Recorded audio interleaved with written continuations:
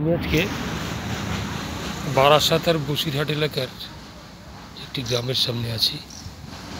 দেখছেন, এই যে মুলি বাস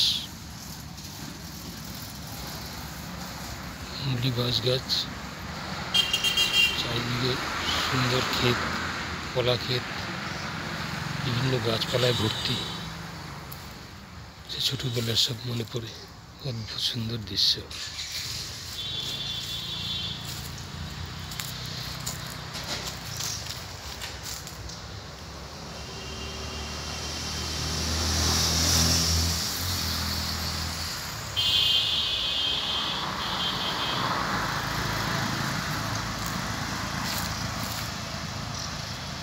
চারিদিকে গ্রাম, মাঝখানে এই পুকুর।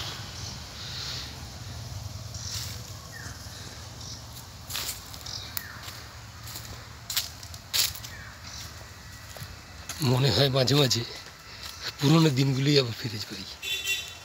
সেই দিনগুলি।